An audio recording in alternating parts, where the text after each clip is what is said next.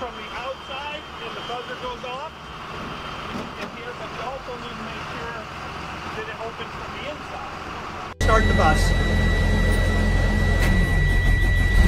So what you just did was you pumped all the air out of the system and you made sure that your emergency brake works properly.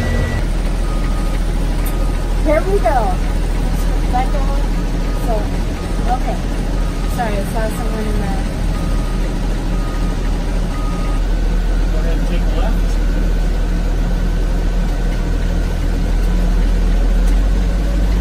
And up here you'll see see the white railroad tracks, it's simulated railroad tracks in the middle. Stay right in the center of the Okay.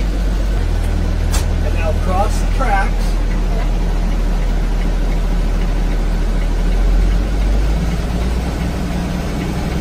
Once you're completely across the tracks, turn off your emergency flashers. Do- Before you wave them across, okay? Because we own them.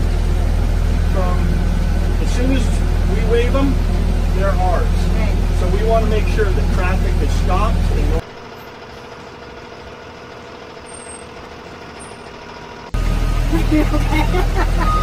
That's kind of scary. That's perfect. That's pretty. That's No, scary. that's perfect. Good morning. On my bus, Time to go to school.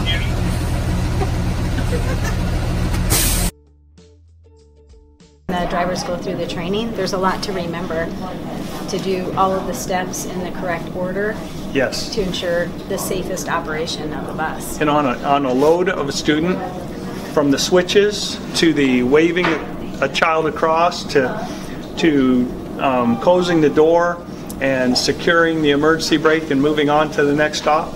There's like 14 maneuvers you do from switching to pedaling uh, to opening and closing the door and waving. We did a uh, student pickup and then we had her back the bus back into a stall uh, all um, this morning within an hour and uh, that bus is per- parked perfectly out there so I'm impressed. Not quite perfect.